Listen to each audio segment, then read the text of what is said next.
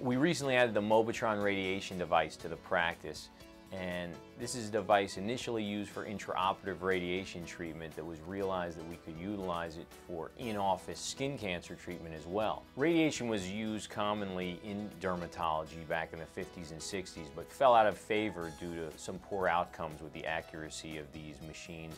But radiation over the years has become a viable option in terms of electron beam radiation that's used for many cancers and therapies. The elderly population who has someone who may have a large tumor that really they're not a very good surgical candidate for risk of bleeding or infection.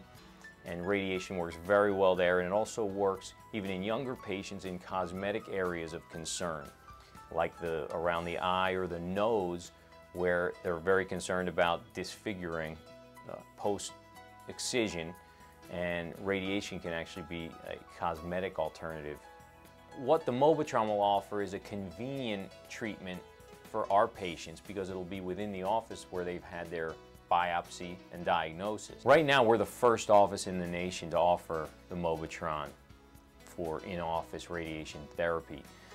We're working in conjunction with 21st Century Oncology um, on this endeavor and their physicians will be coming into our office to operate the machine and consult with our patients.